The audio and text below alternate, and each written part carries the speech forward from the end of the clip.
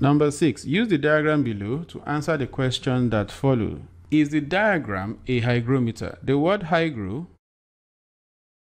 suggests moisture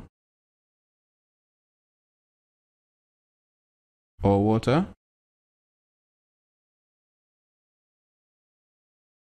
And this diagram doesn't look like anything that measures the amount of moisture or water. So hygrometer actually measures the relative humidity in the atmosphere, which is the amount of moisture you have in the atmosphere.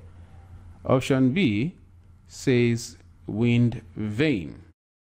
Now, wind vane actually measures the direction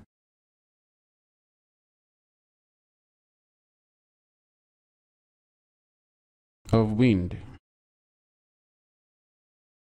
Option C says anemometer. Anemometer measures the speed of wind. Option D says rain gauge.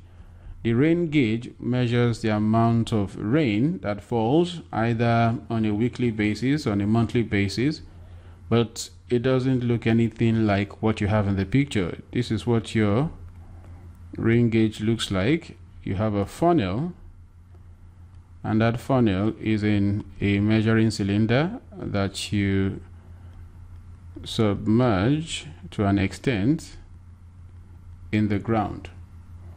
So we know that this particular structure doesn't measure moisture we know that this cannot particularly give any kind of direction because if we're talking about a wind vane then we're talking about something like this.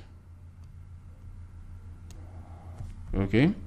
Um, can it measure the speed of wind? Yes because uh, if the speed of the wind is very fast, then this particular device rotates very, very fast as well. So it gives you an idea of the speed of wind.